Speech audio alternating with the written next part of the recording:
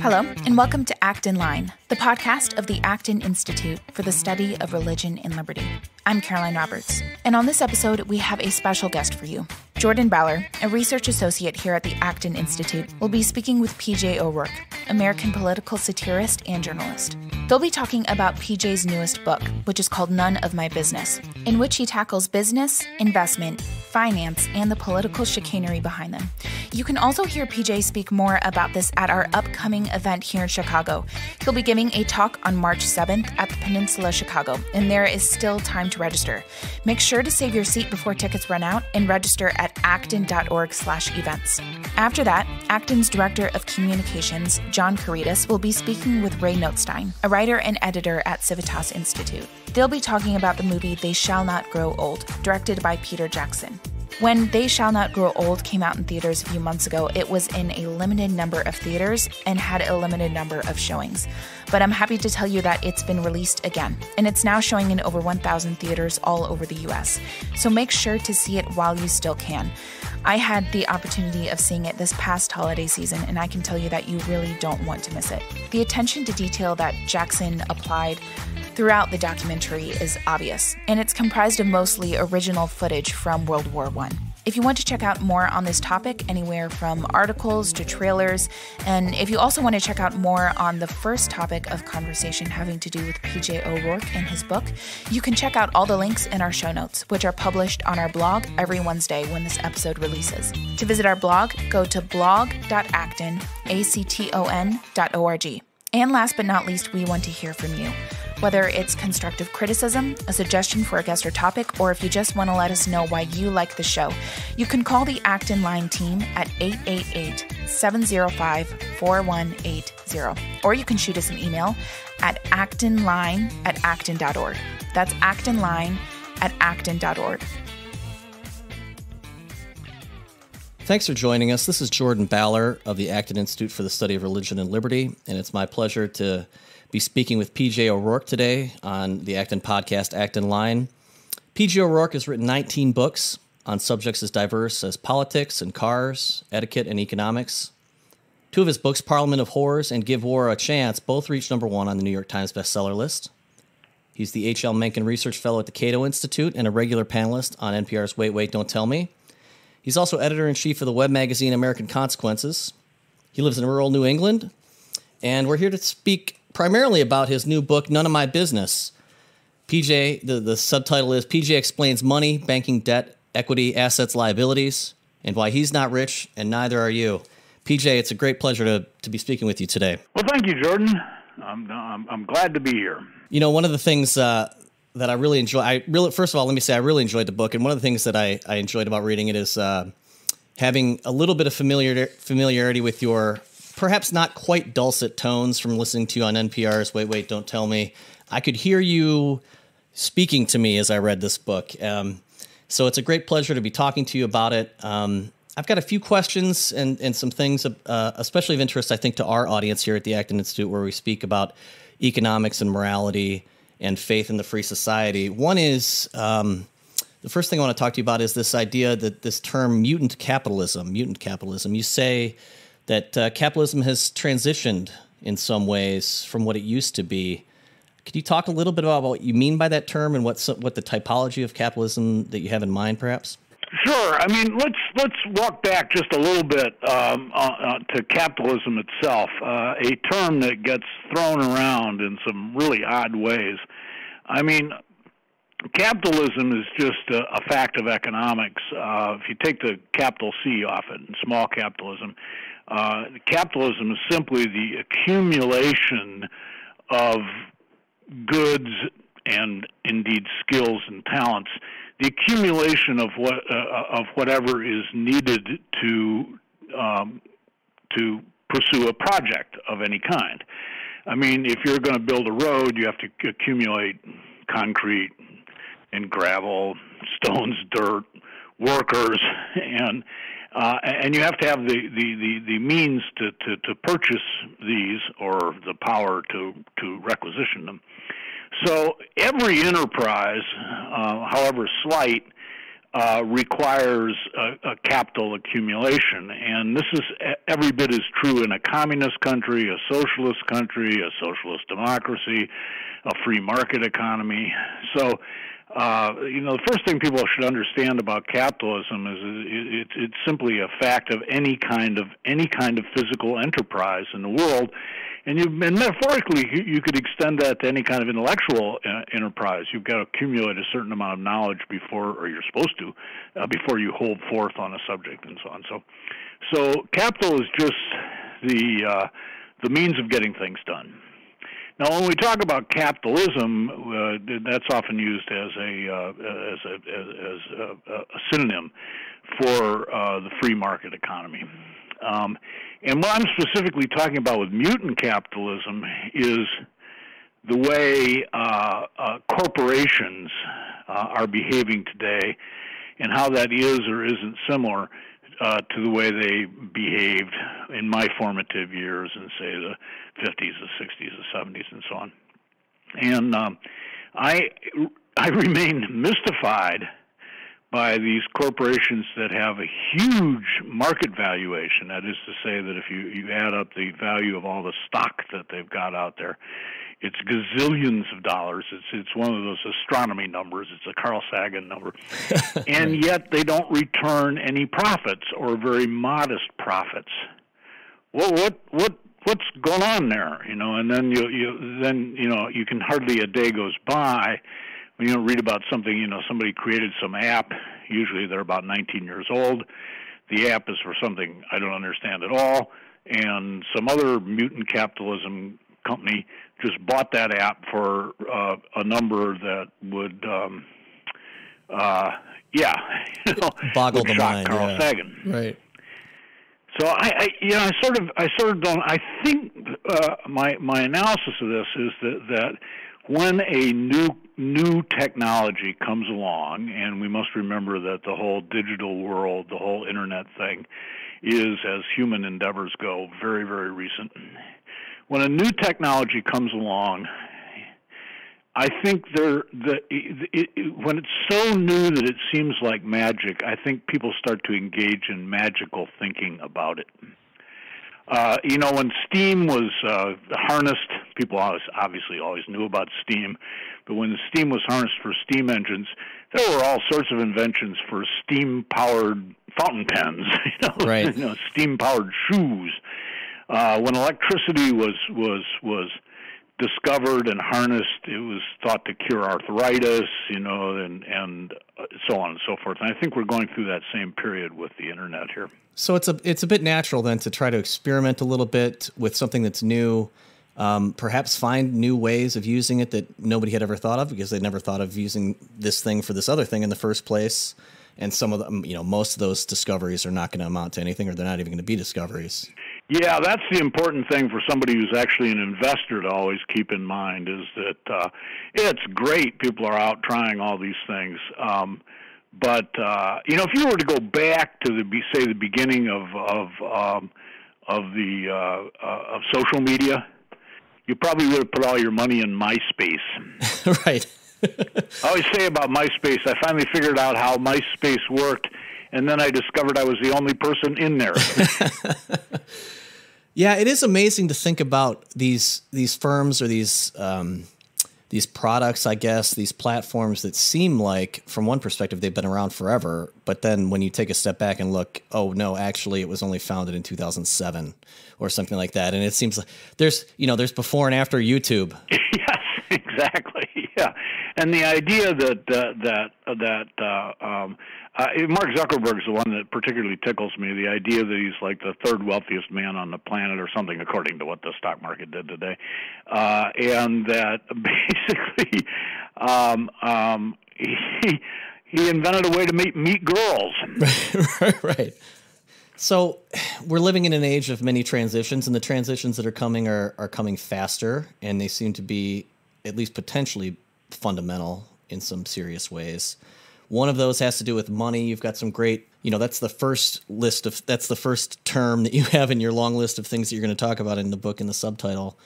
It struck me to to go back a little bit. I, I uh, one of the definitions of money that's in Ambrose Bierce's Devil's Dictionary is that it's a, a blessing that is of no advantage to us, excepting when we part with it.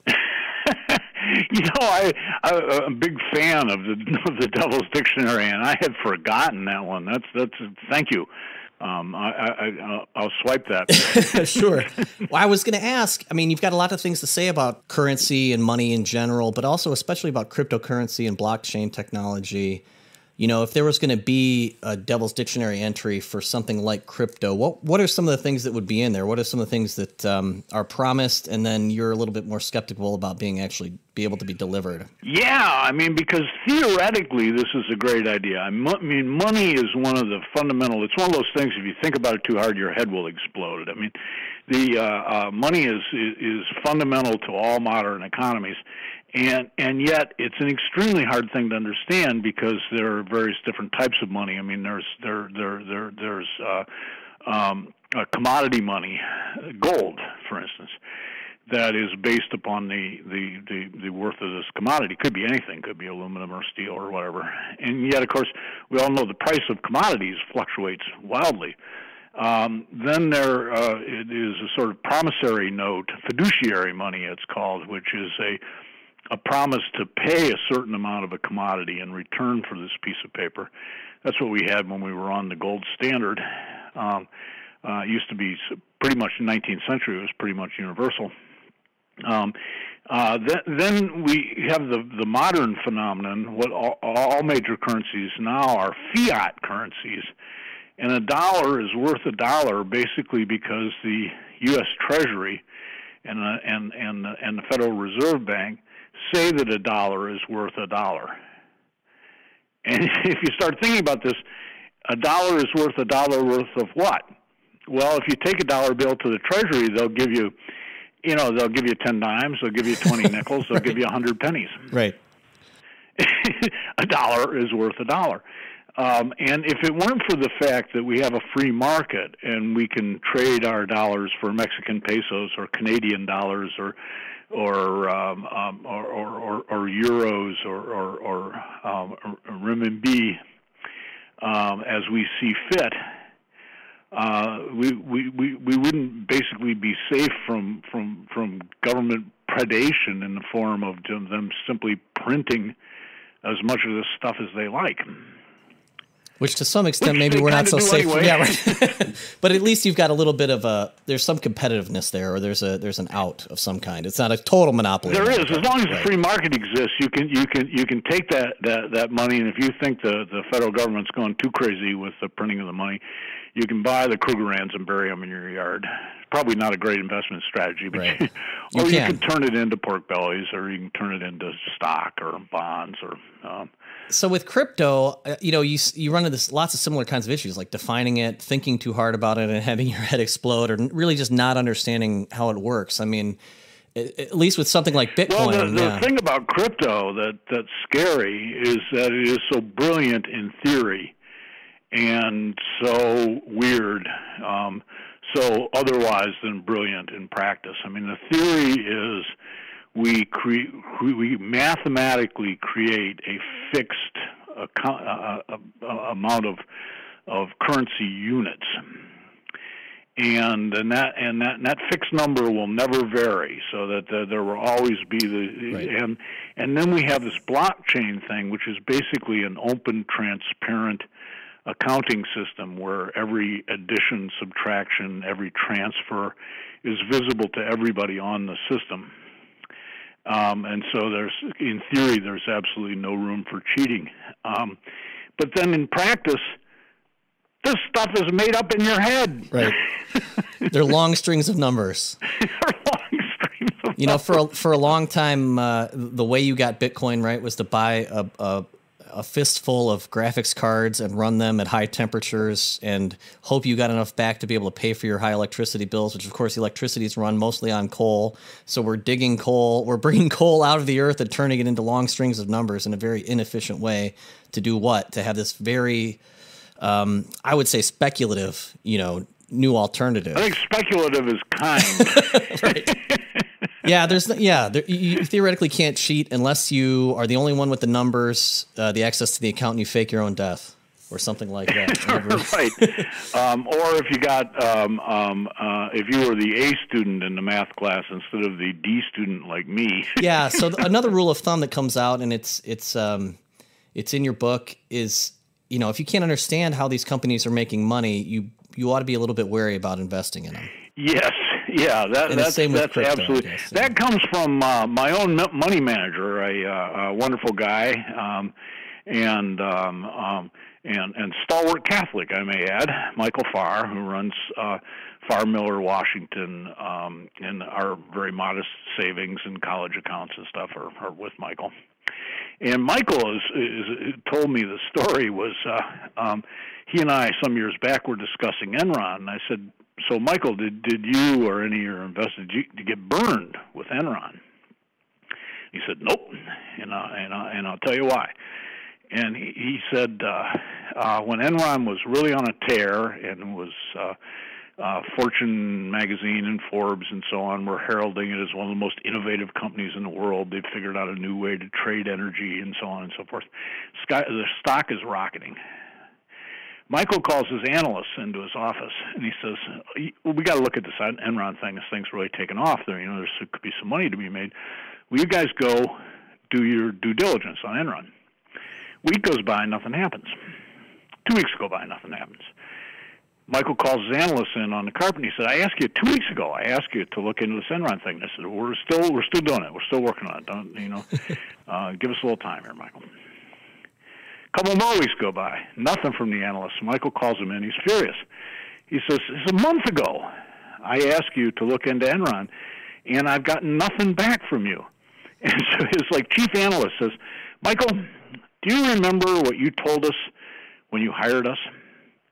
Michael goes, mm, No. the chief analyst said, The first thing you have to do with a company is figure out how they're making their money. We have spent a month digging into Enron and we cannot figure out how they're making their money. And that's why you have not heard back from us. Michael goes, "Oh, okay," and so he said, "You know, keep digging." They kept kept digging. They never found anything, and and uh, Michael and his clients were spared. Right. The indignity of Enron. Yeah.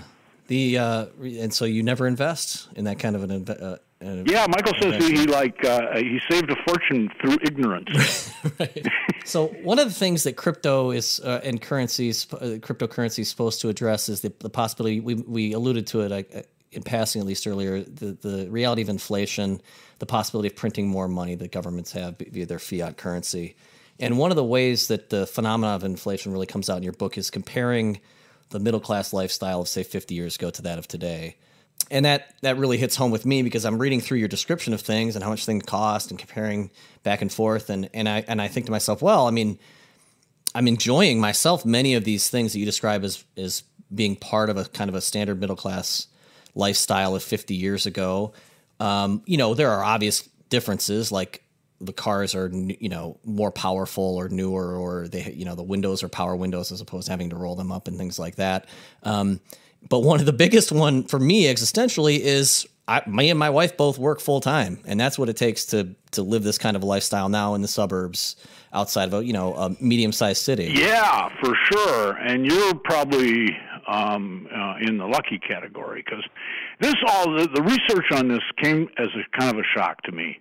I was just trying to figure out, you know, everybody's complaining about the middle class life, middle class life, this, that, and you know, disappearing middle class. And Is this really true, or is this just sort of a uh, perception is the fact that there are uh, uh, seemingly wild herds of billionaires roaming the woods these days. Does that just make us all feel poor? So I went back and I tried to analyze, uh, you know, did uh, the um, um, uh, it, it did about as much math as I can do, which is to to, to, to use the um, inflation index, you know, the, the the consumer price index, so and started. I knew what my dad made in the early 1950s, and I obviously I know where we lived when I say I'm seven years old or so, and uh, I know what kind of neighborhood we lived in, what kind of house, car, all that kind of stuff. And I happened to to to to uh, remember what my dad my dad made, My mom used to keep pretty good accounts on these things, so I knew he made about twelve grand a year. And I knew, and we lived in a four-bedroom house with a bath and a half on, you know, fraction of an acre, nice, safe, pleasant suburban neighborhood. And boy, when I compared the figures for what cost what, I found that housing was way more expensive um, than, it, than it had been. Uh, adjusted for inflation, it was way more expensive than it had been in the 50s. In order to find this na- neighborhood with the same sort of low crime rate, good schools, and so on, you had to go to a much fancier suburb than the one we lived in. That was one thing I found. Uh, come, a lot of things were cheaper. Cars were close to the same. They were a little more expensive, but the cars are. I grew up in the car business, and I can speak to this. The cars are today a lot better and a lot more reliable than they were, and safer uh, than they were 60 years ago. The price of the cars hadn't varied that much. Food actually was cheaper. Um, but the, uh, medical care was more expensive, but hey, my dad died at 49. I'm I'm 71. I'm still here. You know, so you could you could make a case at least that although medical care is much more expensive than it was in the 50s, it's also much better. Well, the, the but the thing that was really a knockout was was education. The inflation in in in um, in the cost of education, especially if you factor in the likelihood that a middle class family now feels that their children should go to private secondary schools, if not prim- private primary schools too. Right. And even in places, the I mean the fallback position in, when I was a kid was a Catholic school system. Sure. Um, it has shrunk, and even where it, it, it still is, I mean, where we live, it would be. Uh, hour and a half commute to the Catholic high school. To the closest one. Wow. Okay. Yeah. Yeah. Yeah. The the Catholic grade school in the next town over from us closed down. Yeah, I graduated in the '90s, and I remember eh, outside of Detroit, and um, a lot of the high school. Well, I think all the high schools in the city, but a lot of the high schools that were even in the suburbs, you know, no longer exist now. Yeah, yeah. Actually, I grew up in uh, just around the corner in Toledo. So same, same situation uh, high school I went to is closed. The high school that my that serves the neighborhood that I grew up in is not one you'd want to send your kid to, you know. But what was the biggest biggest change and the saddest change between middle class life is has to do with the divorce rate. I say take this much more expensive. It's much more expensive to be in the middle class adjusted for inflation than it was in the 1950s. But the biggest problem is so many people have two families now family they left behind another family they started so i said take my figures which are in of themselves like not very happy making and double them it's a yeah that's a huge and underappreciated social trend that has all these kinds of economic consequences downstream. Yes, yes, yes. Especially the economic uh, uh, uh, uh consequences of uh, of uh, that's like Charles Murray in Losing Ground and his discussion of you know poverty and welfare in the United States says that uh, you know uh, rule one is get married and stay married. Well, PJ, it's been great talking to you. Thanks so much for uh, joining us. I've, I've got one final question. Um, sure.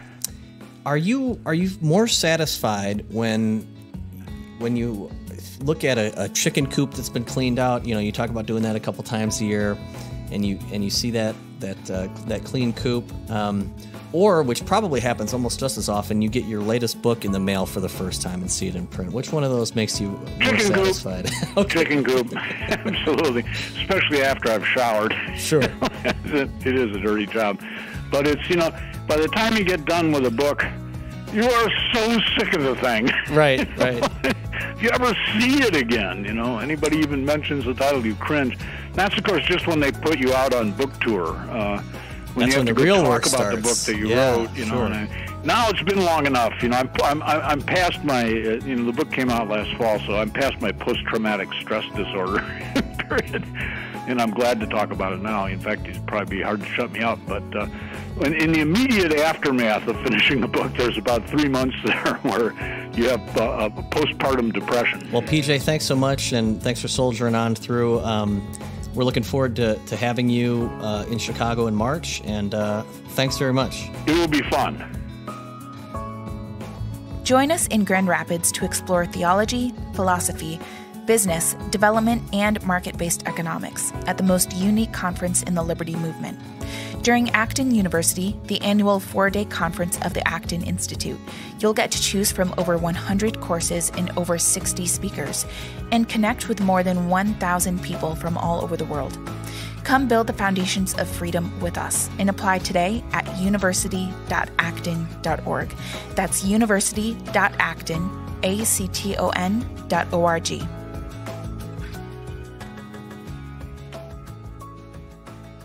Welcome. I'm your host, John Couretas, and today we're talking about Peter Jackson's new documentary, They Shall Not Grow Old. It's a documentary based on actual World War I footage shot by news photographers over 100 years ago. Jackson, who's best known uh, as director of the Lord of the Rings series, The Hobbit, uh, engaged with the Imperial War Museum in the United Kingdom to produce this documentary to mark the centenary of the armistice of World War I.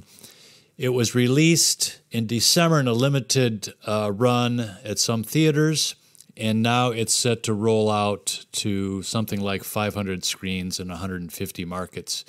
My guest today is Ray Nothstine, who is uh, editor at Civitas Institute in Raleigh, North Carolina. Ray uh, is also, uh, some of you may know, was uh, a former managing editor of Religion and Liberty here at Acton. So, uh, welcome to the podcast, Ray. Glad to be here and looking forward to talking about this film. You know, I really can't recommend this film highly enough. What I was struck by was the use of this advanced technology that Jackson and his crew uh, brought to bear on this original footage and how it brought out the humanity of these soldiers in the trenches. You see their faces, you hear their words, you get a real sense that you were there with them. It's a documentary that really was an homage to these soldiers. It wasn't politicized, it didn't have any ideological angle. And it was something that uh, Jackson engaged in as a labor of love. His grandfather, I believe, served in World War One. What struck you, Ray, about this film? I think that's exactly right. The way he elevated the human aspect of this, the folks that served in the trenches, so many soldiers on, on both sides, and, and just the horrific nature that was trench warfare. Anytime we think of trench warfare, of course, we, we think of World War One. So I think just the way that he elevated the human uh, soldier, particularly the British, because it's from their point of view primarily, and what they dealt with in World War One. I. I mean, you had mass casualties uh, at battles like the Somme. You had over just I'm not talking about the Commonwealth countries, but just in Britain alone, you had 700 something thousand uh, British soldiers die in the war. And how he really brought that out because we've lost some of that history, and a lot of the World War One veterans were overshadowed by the Second World War, and uh, he even alludes to that. Or you know, you have the voice of, of, of the veterans that say we kind of got uh, forgot about after we came back from the war, even though so many died. Um, I think the, the death rate of a, a British soldier in the war was about 12.5%. So obviously a lot of them survived. And so what I just found really unique is that he let them speak through their own voices instead of having, you know, talking heads on the, on the um, program or just having historians in there interpreting what happened. And the film is actually in two parts. So I'm guessing it's about an hour and a half. The last half hour is a mini documentary on how they actually pulled off this incredible uh, technical feat of restoring this footage. Things like the frame rate being restored, the colorization. They actually hired actors to put words in the mouths of these soldiers that were in these original films uh, by using forensic lip readers, uh, lip readers that would work for the police, and on and on. And it really vivified what was an old sort of herky jerky black and white films, which were, uh, you know, undoubtedly of interest in themselves, but this really put color and life into it. The approach and in interviews, Jackson would say that when he was engaged in this project by the Imperial War Museum, he asked them, Well, what exactly are you're looking for? And they said, I don't know. You figure that out. Uh, just give us something fresh and new. And so what he did was he let the soldiers speak for themselves. As you said, they didn't have like, they didn't cut away to experts in an armchair telling you what really happened. Uh, there wasn't a narrator voice coaching you as it went. It really was the words of the soldiers. And in fact, sometimes they would, uh, in one remarkable scene, they found a, a telegram that an officer read to some soldiers. And they actually found a footage of this officer reading to the soldiers, and they put those things together. And one thing I'd, I'm, I wonder if it, you were struck by the fact that the soldiers themselves had great camaraderie. They even had fun at times. They did not view themselves as cannon fodder or victims. They viewed themselves as willingly and in some cases enthusiastically serving their country in the war. Although, as the, of course, as the war wore on, there was a, quite a bit of disillusionment. What was your take on that? I think that's a great point, John. Um, that's overshadowed a lot now in our understanding of World War One because you know there's been so many books, whether it's uh, Paul Fussell, um, The Great War in Modern Memory, or other books, um, The Guns of August. We get this sort of disillusionment that all the soldiers were disillusioned with what they were experiencing. That uh, you know the trench poets. Anytime you think of trench poets, uh, you automatically think of World War One too. I mean that's a, a term synonymous with World War One. And of course they wrote a lot of uh, dedication to the dead, and sometimes there's a lot of cannon fodder type symbolism in their work. But um, the common soldier, so many of them were very proud of their service. And, you know, in this film, they talk about, oh, I'd go do it again. And it was some of the funnest time of my life. And, uh, you know, besides the few times we had to go over the top, that uh, it was, you know, they almost described it as just having a ball and that camaraderie was evident. And I think that's an important point because there's just so much uh, literature out there. There's a great book that sits on my um, bookshelf at home. It's called The Price of Pity, and it's written by an English historian. And I think uh, you know you see a lot of conservative themes in his work, but his name's Martin Stephen, and he talks about some of the myths that have sort of um, overlaid World War One and how we understand it today because of the trench poets, because of a lot of the literature. There's books like Testament of Youth that are very pacifistic uh, in nature, and there's a lot of pacifism that grows out of World War One. But it, it, it sort of neglects that the soldier and what they experienced and that uh, you know that they were very proud of their service and a lot of them you know like you mentioned the sort of the cannon fodder that the officers let them down or the generals let them down a lot of them admired uh, the men that led them and were very close to them and um, I think another thing just to just touch upon about this film that I think is really valuable even though the footage is a hundred a little over a hundred years old we're really still really connected to World War One in, in terms of w- what has changed in Europe. We saw with all these celebrations and ceremonies how defining uh, World War One was for Europe when they came together to remember all of these that were sacrificed in this war. But um, it's, we are very close to this because I remember when I worked for a congressman in Mississippi, we called over to the veterans home. This is around the turn of the century, 2000, 2001 just when I had gotten out of college, and I remember talking to two World War One veterans on speakerphone. My boss and I would call over there, and we would just uh, talk to them. It was it was kind of this eerie thing because I almost felt like these guys were hidden away. There was only a few of them left, and they, you know, this is around the time when World War II veterans started making the news more because more of them were dying every week, and there were still a couple of World War One veterans. The there. greatest so was, generation, right? Yeah. Yeah, it was very haunting and eerie that there were still a few World War One veterans uh, left, but we're still very connected to them. So, still within living memory, you had a connection to these men who fought in World War One, and you had a chance to connect with them very late in their lives. Yeah, I mean, they were obviously in their late 90s, maybe even over 100. And I, I think um, that's one of the reasons that Jackson, Peter Jackson, said he wanted to make this film was because we're losing some of this uh, connection and the story that they they lived through. And like I said before, so many of them were overshadowed by World War II. I mean, uh, there's not even a I don't think uh, there's there's not a World War One monument on the mall in Washington for these guys. And we've sort of overshadowed them with with World War II, and you know, understandably so to some degree. But we're losing some of that story aspect because the people that knew them are are, are dead or dying too now. Yeah, and I think a great deal of the authenticity, of the reality that comes through in this work is that Jackson used, as is widely known, 100 hours of uh, real footage from World War One, but then he also went through 600 hours of uh, video interviews that the BBC did in the 60s uh, with World War One vets, and so he was able to put these two sources together um, to let these veterans speak about their experience in their own voices, and the I mean the effect is is is pretty amazing. I I really thought I really think that anyone's interested in the history of World War One or the actual battlefield experience of these soldiers really should get out and see this movie now that it goes into wider release. Uh, you saw this in December, correct? I saw this in uh, early January. I believe. I can't remember. I think it was in January. It was after the Christmas break. Did you what anything surprise you about this film uh, in particular as you were sitting there watching it unfold?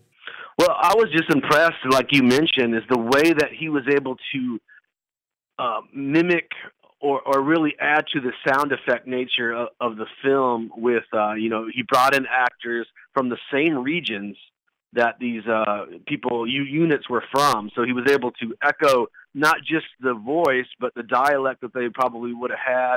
He was able to echo just uh, very, you know, the sounds as as a cannon fire or cannons rolling or mud or, or feet kind of clamping or chopping through the mud, which was, you know, it took a lot of work. So there's a lot of attention to detail in this film that I think you'll definitely pick up when you watch it in, in, in the way that he spent a lot of time going through and adding these various sound effects. And I thought the soundtrack too was particularly uh, powerful. I mean, you have that uh, that that, that um, notable tune from the end, but also just out.